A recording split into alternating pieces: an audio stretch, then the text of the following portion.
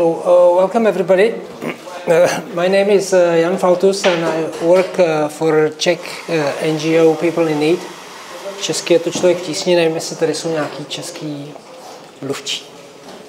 Minimálně. Uh, so the presentation will be in English and I will be introducing um, water sanitation sector in the view of the work of non-government uh, organization, international NGOs, uh, and uh, this will be about the approach to water and sanitation, how we do it in in uh, in people in need or in short in PIN, and um, I will give you kind of brief overview of the basic uh, issues and challenges that we're trying to solve all over the world and which are connected to access to safe water and safe sanitation.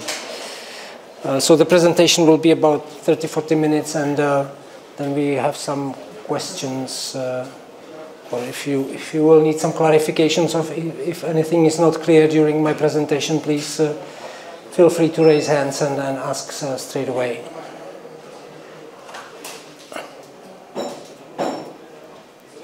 So uh, first, what, what problems we are trying to solve here? What are the problems with access to, to water and sanitation in the world? You know that uh, water and sanitation is one of the sustainable development goals, so it's one of the global problems that uh, the, the humankind or the mankind is, is trying to tackle. That uh, vast um, uh, numbers of people in the world do not have access to three basic things. Uh, first of them is uh, access to safe water. I'm not talking about water as such, but to safe drinking water, to a water that has a certain quality, that is drinkable, that is usable on the household level. And you can see only, uh, uh so three people out of 10 do not have access to safe water. That means uh, three people out of 10 in the world globally, they do not have access on, on the household level in their homes. They do not have access to safe water and have these people have to make some effort to, to, to, to bring water, to, to have water in their households to, to be able to, uh, to live some decent life. Uh, then six out of 10 people, they do not have uh, sanitation services, uh, sanitation facilities. Peppa will be speaking about sanitation a little bit more a little bit later. But uh, basically, this is about access to um, sanitation facilities, uh, basically latrines. In, in the countries of the global south, we are facing a lot of uh, problems with sanitation, which is uh, open defecation and open defecation leads to um, uh, kind of spread of, of a lot of uh, uh, diseases. Uh, there is a lack of lack of sanitation on, on rural level. There is lack of sanitation also on on uh, on uh, in institutions. And the third one, third problem that we are trying to solve is the the, the problem with the wastewater that a lot of water that is used in the world is not uh, treated and is uh, becoming uh, environmental hazard and is becoming uh, a threat to, to the environment and the polluted water also pollutes the, further the, the drinking water sources. So these are basically three, three problems that we are trying to solve. Not always all of them, but uh, it depends on the environment, it, it depends on the settings, we uh, uh, we work normally in, in, in combination. Uh, you can have in the same area you can have a problem with access to water and more often or quite often you have also a problem with sanitation services and the problem with uh, the wastewater is normally on um, more populated in more populated areas in urban settings uh, it's not such a big problem in, in rural areas where you have uh, uh, very low population density. So, so not, um, the problem with wastewater is not, not, a big, not a big issue in, in rural areas.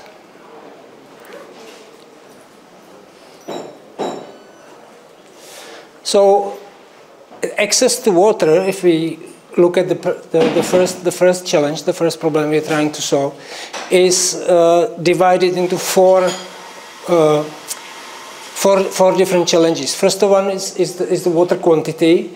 So that's the, the, that's the amount of water that each person has available per day.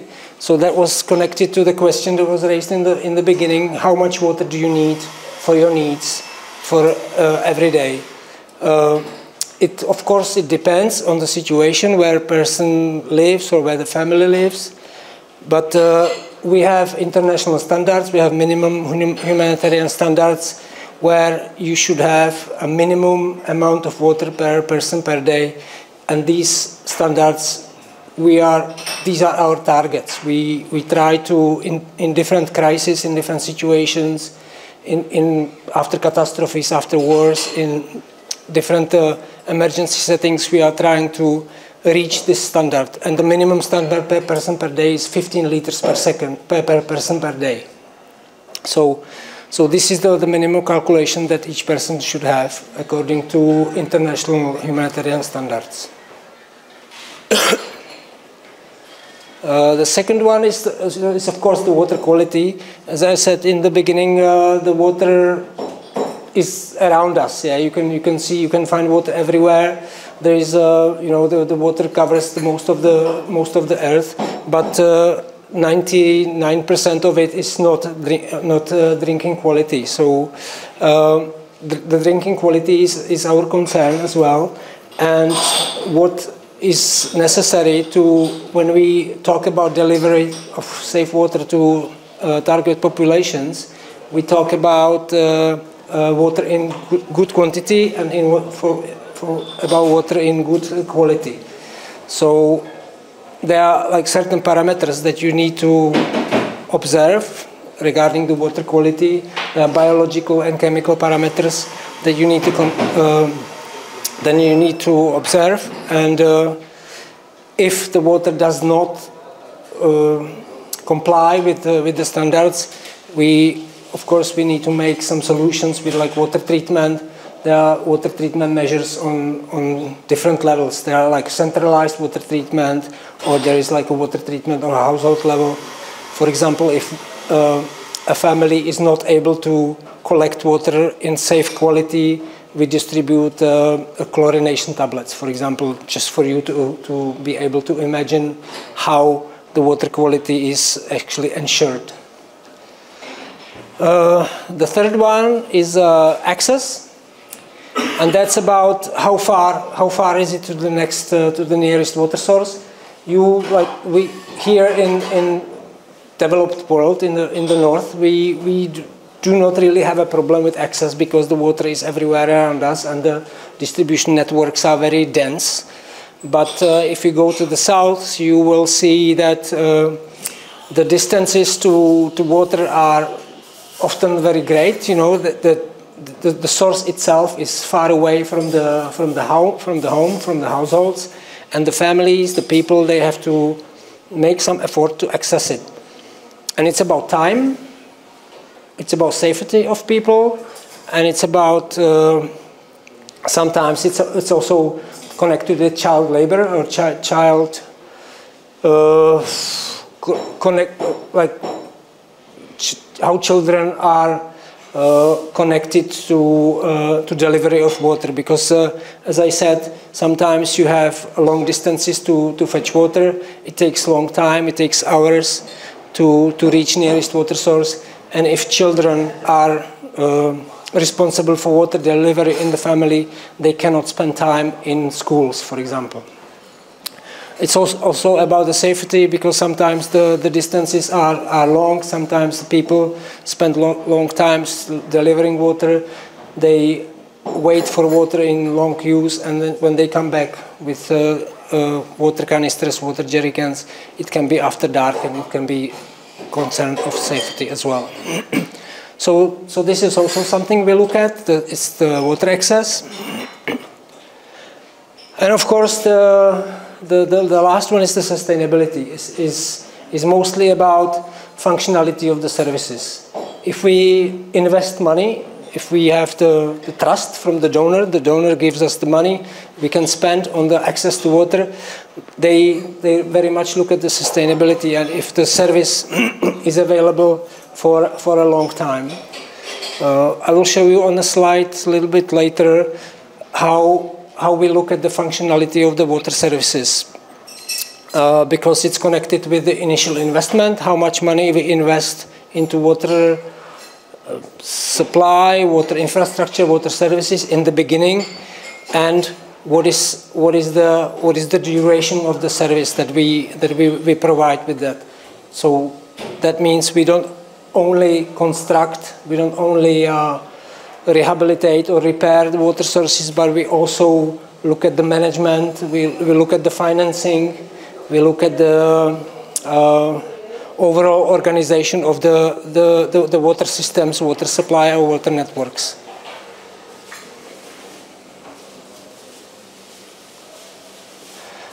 Just to give you a brief idea what, where People in Need works, we work in, mainly in the global south, but you can see about uh, the, the, the, dots that we work in uh, about three or four countries in, in Africa, we work in Middle East, we work in Afghanistan, a little bit also in the, in the Southeastern Asia.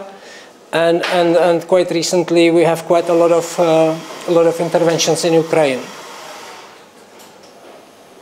Uh, so this is about the detail. This is, for example, southern Ethiopia, where we, uh, where our water sanitation, what we call WASH program, is is the biggest and and this is how we we kind of make the evidence and we we also we, we collect the data about the water sources that we address and that we repair and rehabilitate and we put it on the map and you can see the density of, of, of our intervention on the, from the geographical point of view. Most of the interventions are in the rural areas, but, but we now recently starting to work in, in bigger towns, in in uh, where population is over 50,000 people. Uh, so there are some principles that we try to try to uh, adhere to or to try to uh, observe and the, the one of them is that the water is a human right. So when we the access to water is one of the human rights. When we are start our work in the area of intervention, in the, in the selected area, in the new project, we try to speak to the authorities, to the responsible authorities who are the owners of the water systems, who are the owners of the water sources, that the people we work with, they have the right to access water. People have rights, but people also have responsibilities. So the, it comes hand in hand, and we have some kind of capacity building or awareness raising programs on how people should be should be understanding understanding the problem with access to water that on one hand access to water is human right but on the other hand people have responsibilities and some duties to um, to allow authorities to to provide water to the communities so that, that, that is basically payment for water. We, so we also work, look at tariffs and we look at payment for water. So you have some funding for operational maintenance of the water systems. Uh, secondly, one of our principles is that you, if we have infrastructure failure, which is something breaks down, like a pump, like you can imagine like a simple pump, you have uh, a localized water source, which is like a hand pump, and uh, a hand pump breaks. You know, children play with it. There is a, a you know, the material doesn't uh, doesn't last very long. So you have the break of the pump, and you have non-functional water source. In our point of view, that the, the, this kind of failure of the infrastructure is not a failure of the service. So, so we try to make the system strong or sustainable that uh, in case of the breakage or in, in case of some repair case of the uh, certain water source, the system around it is built in the way that it is repaired without any external help. So, so we try to kind of build the system around the source that the, the responsible authorities or the community has got powers and has got ability to, to put it back into functionality. So this is like the basic, basic principle.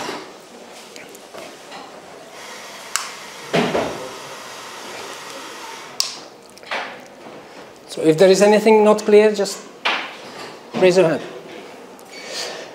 And to, to that is connected uh, the system strengthening. So we, we, we're looking at the whole system around the water, so we don't look only at the, at the source itself, but we look at, at around the system. This is what I just explained. So this is about the system strengthening. And to this is connecting the professionalization. So, so it is necessary if you have a water system or water distribution network, you need professionals to operate it, to maintain it, and to manage it.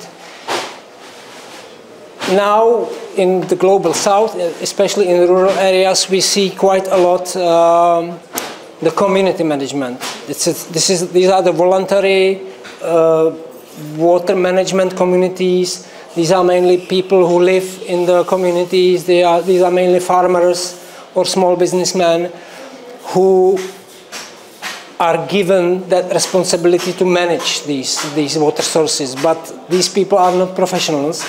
These positions are voluntary.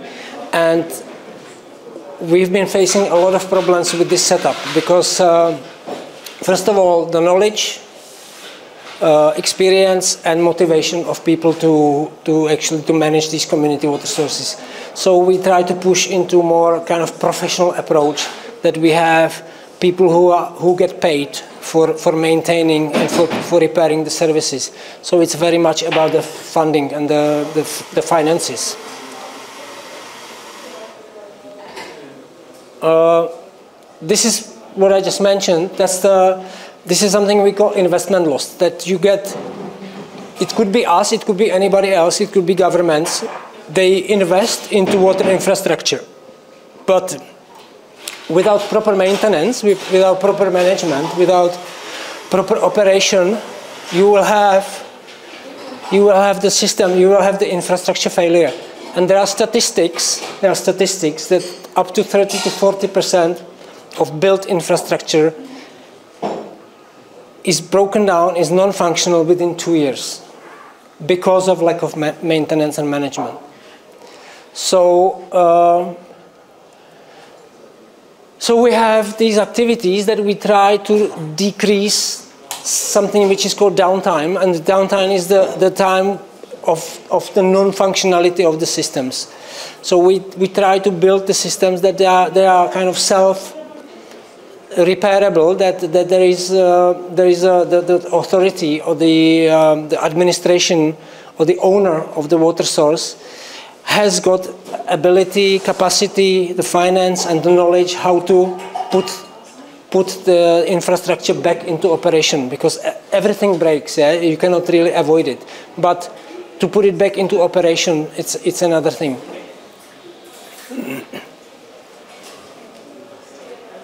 Uh, so this is more about our programs. I, I, I, gave you a little bit more in, insight of what we do, but this is, this is more, more general. We, we the, the best impact that you can reach in, uh, in the development work is, is when you integrate more sectors together. When you go, you can have kind of combined program. You can have one project which combines more, uh, more sectors, as we call. So you can see you can have water be, being present in health. So that's, that's quite obvious because uh, water is very much connected to health. If you don't have clean water, if you don't have uh, proper washing facilities, you will end up with a lot of waterborne diseases. You will end up with uh, uh, diarrhea. You will end up with cholera. You will end up with uh, malnourished uh, children because of um, it, um, acute watery diarrhea and stuff like that. You have water connected with education that's what also what I mentioned. We need to train professionals to maintain, to manage, to operate the systems. Uh, you have water connected with nutrition. That's that's also connected with health. Health. If you don't have clean water for children, you will, you will have you will end up with malnourished children. If you don't have enough water for uh, irrigating your garden, you will end up having a very simple diet or the diet that does not really give you enough nutrition, nutritional food, for example, and then you will be you will be having food that is uh, uh, that is creating uh, malnutrition or stunting with children. You have water with natu natural resources. This is very much connected with uh, climate change today because we are facing, you know, everybody knows very much about climate change and we are facing the changes in the weather patterns, you know. So you, we have, on one hand, we have droughts and on the other hand, we have, we have uh, floods and this will be increasing and the impact will be higher in the global south because the global south is not as resilient to these shocks as, as we are here. So, so natural resources is about the, the, the climate, the climate resilience, and we, in, in connection with water, we are speaking about uh, water retention and water recharge. Because if you are using the underground water sources, which are not recharged because of the, the, the rains, the kind of regular pattern of rains, if you don't have that, you, you are not getting the recharge of the underground water sources. And if you are depleting the water sources from the underground, you will be, uh, um, you will be losing the water sources in some time. Uh, we have water connected with agriculture, of course. This is mainly connected with uh, irrigation. Again, this is connected to climate change because more and more we will be facing uh, this kind of disruption of the weather patterns. So we have heavy rains and then we have uh, droughts and we will be more and more dependent on um, irrigation. And the last one is the markets, you know, the market system develop because the water is also a commodity. How much time we have? Is it, is it okay? Yeah, full.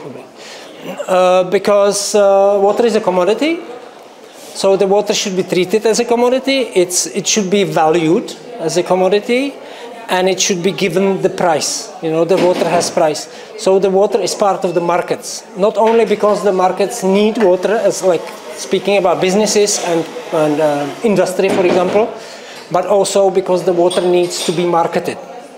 Otherwise, there is no sustainability. So this is the integration.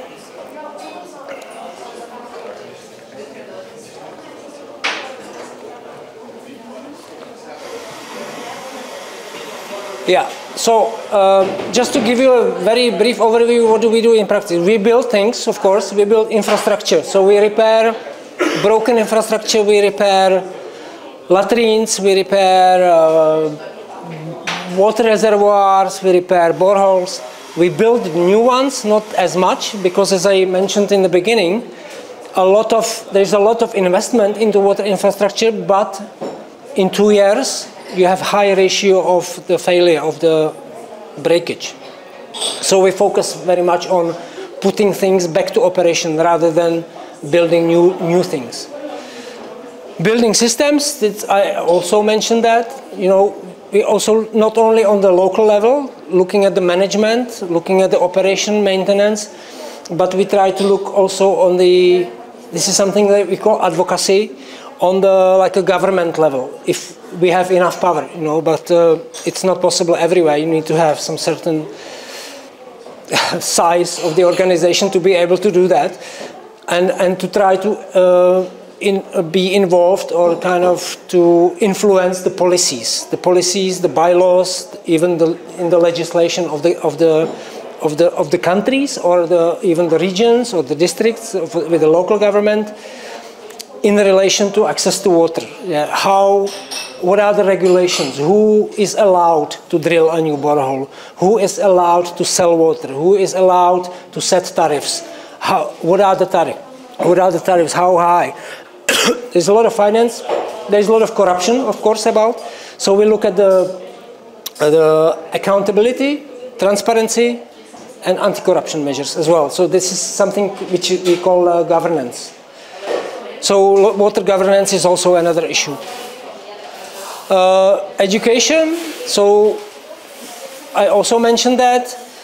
Uh, we, for example, work with uh, technical vocational education uh, institutions, which is um, secondary education, basically, and we try to uh, we train uh, technicians, operators, um, technical people, technical people to be able to to operate sometimes complicated electrical electromechanical systems, because sometimes you need some power to, to, to transport water from the ground to the hill, you know, so you need some certain, at least some basic uh, technologies and, and you need educated people to operate it. And then of course we have campaigns, yeah, we have hygiene sanitation, promotion campaigns, awareness, how to wash hands, changing behavior. You know, this is very much connected with hygiene we try to change behavior to, to teach people how to that the raise the importance of the hand washing of the, the, the personal hygiene and stuff like that. So so this is in bullet points uh, what we do in practice. Uh,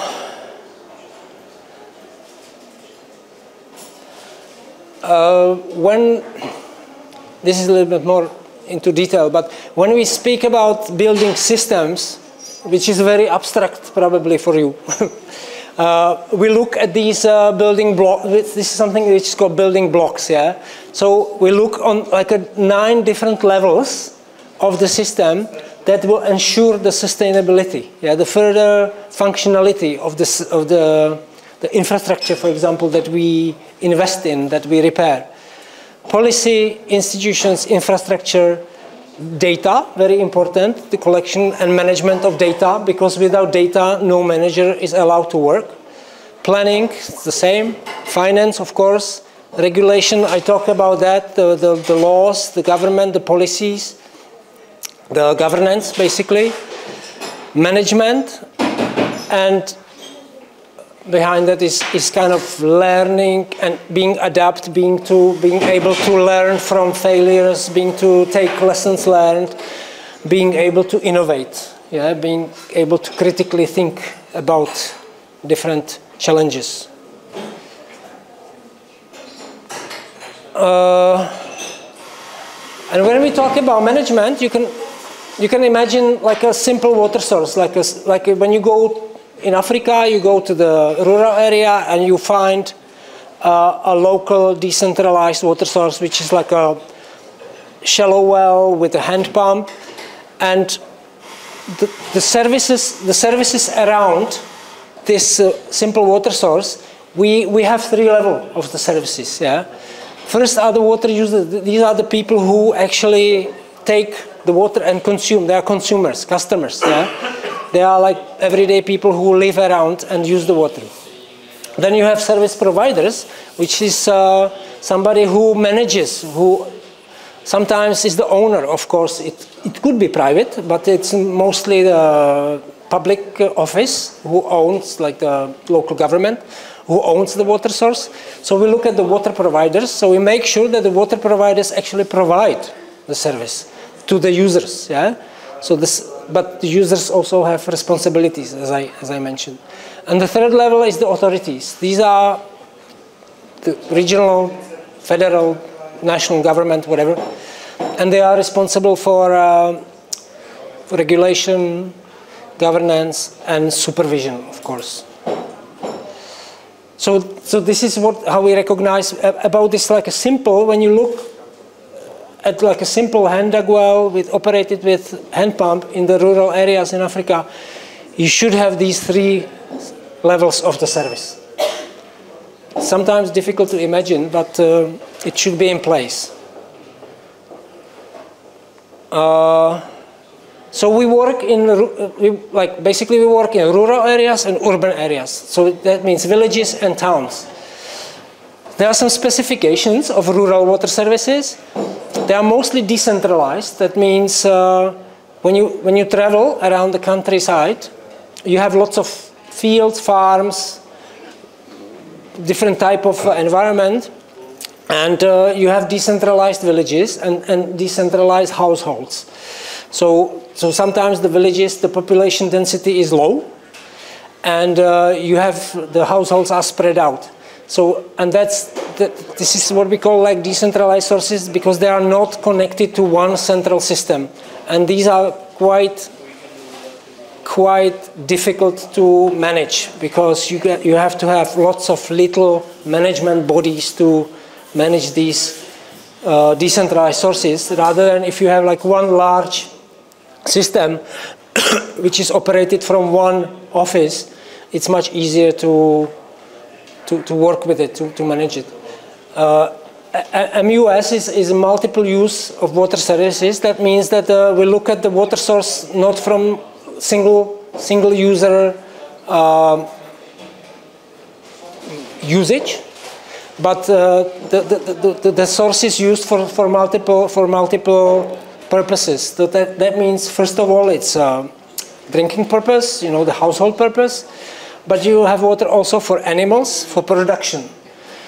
You have agriculture production, you have livestock production for livestock or irrigation, for livestock feeding, or for your business. Yeah? So, so one source can be used for multiple purposes. This is, this is the case in the rural area. You have larger distances, you have the issues with, with the water quality, because again, it's decentralized, so you cannot really, you, you cannot easily control lots of small sources. You cannot really very well and efficiently control the water quality.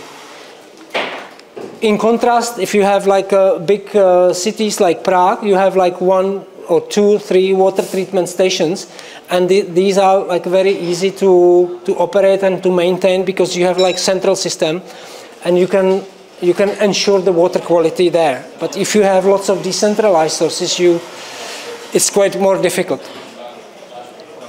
And uh, the last one is what I call that's the professionalization that uh, people uh, should be customers.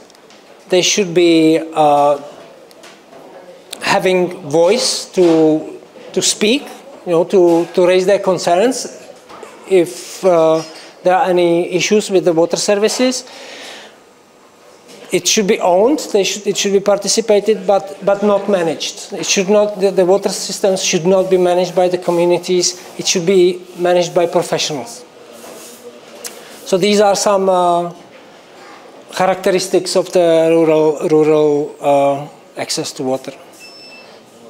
Um, on urban settings, the, the work is totally different that we do.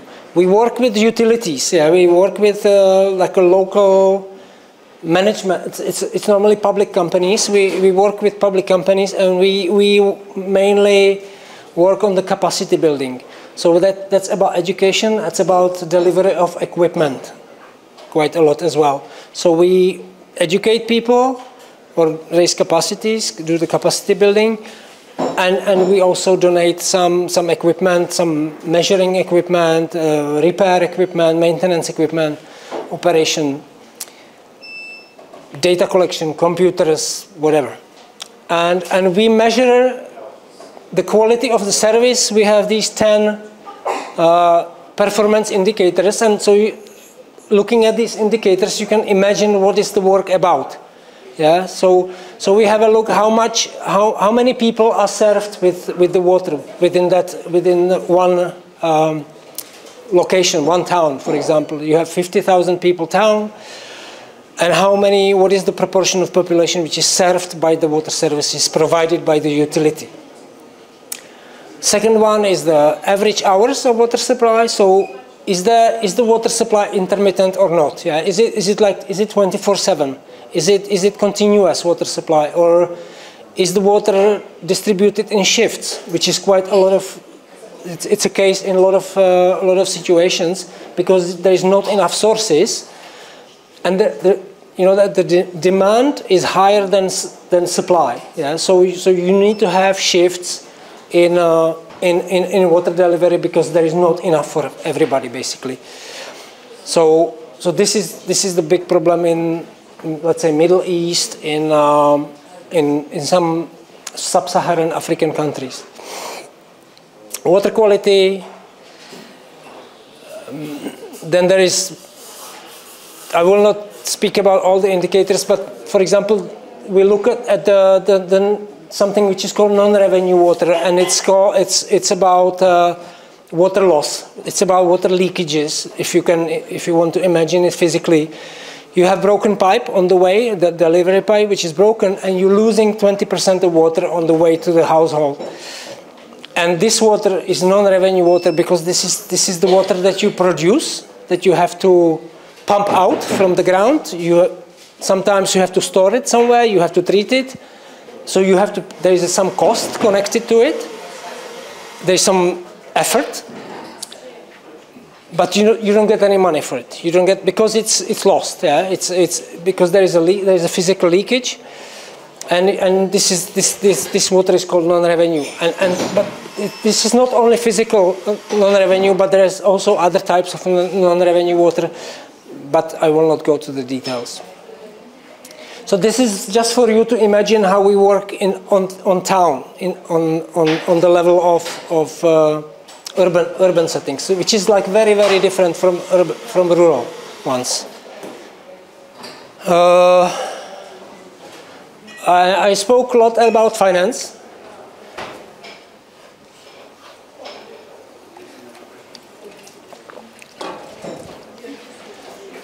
And, and, we, and we look about the, uh, we, you, you know, this is the basic principle of financing. You have some income and you have some expenditure. You have it in your home, yeah, you have it everywhere. You need to compare your income with your expenditure. If your cost is higher than your income, you, you, you, you are in trouble. Yeah, you will, you will be in debt. And it's exactly the same in, in water services. You, your financial sources, your income, must be higher than your costs. Otherwise, you will, the service will, will fail, yeah, sooner or later.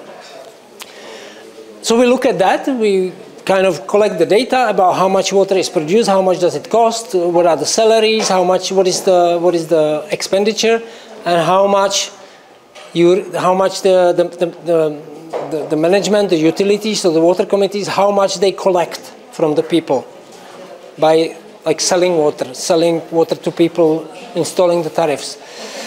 And, and also we have some uh,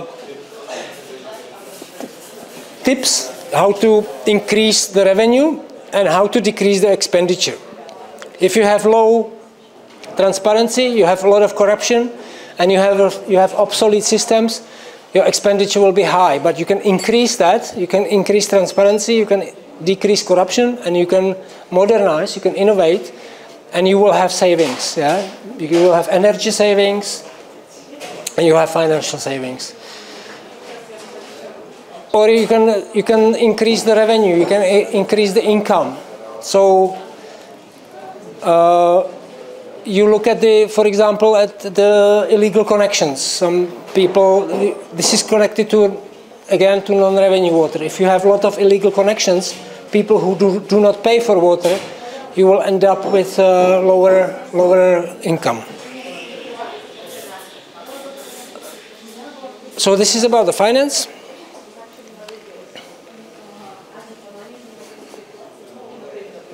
And uh, I have, I think, one, one or two last uh, slides, and I will, I will finish. And so at the end, we need to monitor our work. We need to know how, how we do, how, how the activities that we do in the field, how is it, does it make any sense? Does it have any impact or not?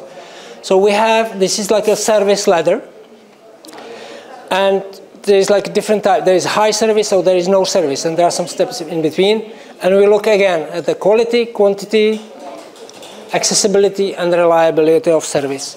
So at the end or even during the project implementation, we look at these uh, four uh, topics and we look if the quantity that we provide to people is high service or no, the quality, accessibility, and reliability. So, so this is kind of scoring system of um, of the, the access to water services. And that was the last slide. Um, yeah.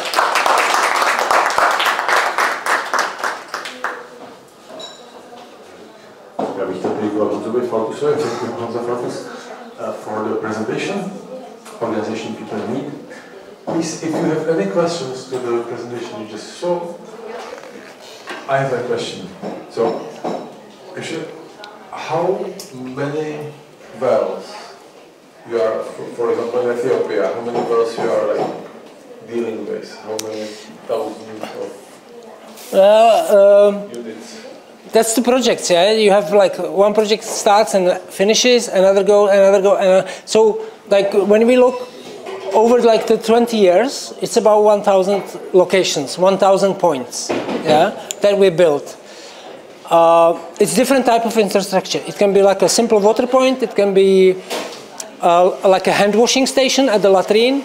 It can be 200 meter cubic reservoir, a big one. It can be like a 300 meter deep uh, borehole.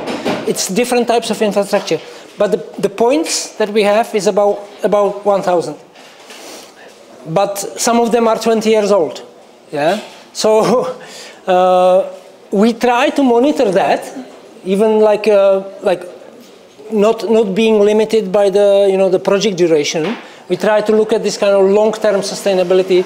So, so we organize some missions to, to travel to locations where we worked uh, four, five, ten years ago and look what is the, what is the, the status of the source. Did we do a good job in the, in, um, in the management, like building capacity of the management or not? If we go there, the source is non-functional and nobody cares, we did a bad job, yeah? If we go there after 10 years, five, two years, 10 years, and it still works, we did a good job. Basically, this is like a very simple, very simple thing. Thank you. Uh, I have two questions. Uh, you say that uh, three, or uh, on the slide uh, were written, uh, three from ten people uh, don't have access to drinkable water, 59% of wasted water isn't treated, uh, and so on. Uh, from this data set was from all your area which you help, or No, this is, this is UN, this is UN data. So this is global. So this is like, uh, like all over the world. This is considering uh, Europe, North America. Uh, this, is a, this is a global number, yeah? And this number is, uh, I think it's kind of five, ten years old. And, and we have something which is called Sustainable Development Goals.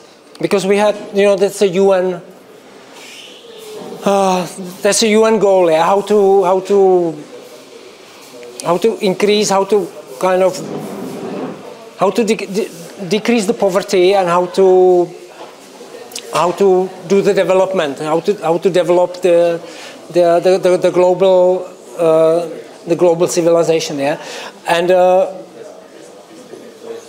the sustainable goals that are that, that were built after uh, uh, the millennium goals and it, these there are some indicators that uh, we're trying to reach between 2015 and 2030 yeah so and there are the goals are set for 2030 yeah the UN development goals and the goals say that in 2030 the access to water should be 10 out of 10. Yeah? That's the goal. That's the goal of the UN, yeah, of the United Nations. But um, because of, we have all the crises, we have, we have climate change, we have all the wars, we had COVID, the situation is going backwards. Yeah? So not only that we, are, we will be able to uh, provide access to water to everybody, but we might end up even on the lower level that we started. Yeah. And second question, uh, you say that uh, access to water is a human right, and a few minutes later you say the water is commodity on market. Yeah. It's not, it's not, it's not contradiction. I don't think it's contradiction because you have, you have rights and you have responsibilities. If you own something, if you own a house, it's yours. You can use it. You can. You, you are rich, yeah. But you also have obligation to, to, to look after the house. Yeah. For example, yeah. So we are like citizens of a country, and we should be. Our government should be responsible for giving us access to water, but our obligation will be pay for it. They cannot give it to us for free. Yeah. Say that you can take water if you don't use it like commodity. You have free access to this water.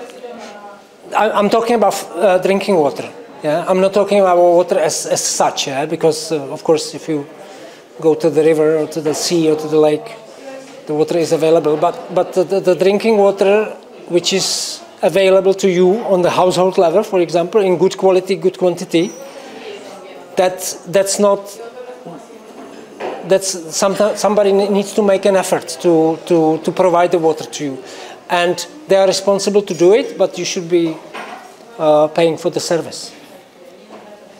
Of course, you know we have because uh, we, we also work with um, poor families, like low, like vulnerable families, for example. So we we try to also imply like something which is called social tariff, so that people, these like vulnerable people, they do they do not pay the full cost, for example. Yeah. So the the majority of people they pay a little bit more to uh, for, for, the, for the vulnerable people to have, like, let's say, free access, for example.